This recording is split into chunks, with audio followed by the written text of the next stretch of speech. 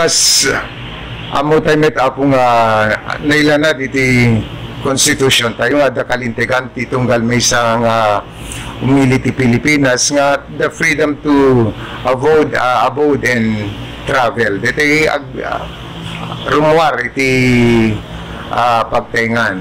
No uh, sa, sa din naman iti papanan na. That's one of the basic rights uh, enshrined in our constitution. Ngayon adamet kalintegan iti gobyerno tayo. The state has the right to uh, prohibit travel no uh, endanger iti public health or public welfare.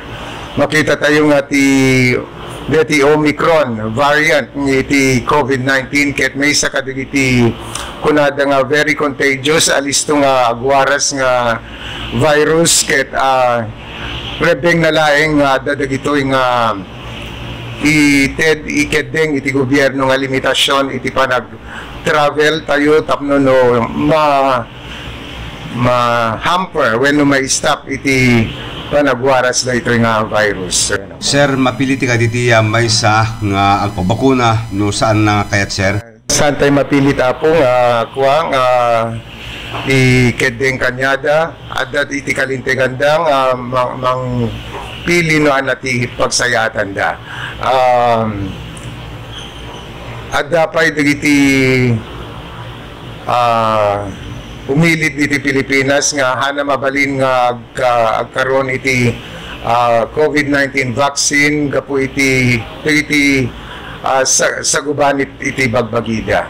Uh, isunod iti kuma iti uh, dadu mga kitayan iti gobyerno uh, tapno no sa andamet nga ma makuna nga mang salungasing iti paglintegan.